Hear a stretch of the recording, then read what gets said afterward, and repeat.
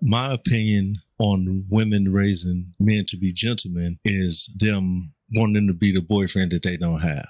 Why do I keep hearing men say that? Because it's because true. the simple fact is women have an ideal image of what a man is. hmm And so women oftentimes project their ideal image of a man onto their son on how they want a man to be based upon the man that they do not have in their life. It's got to be the realest thing I've ever heard. Next video.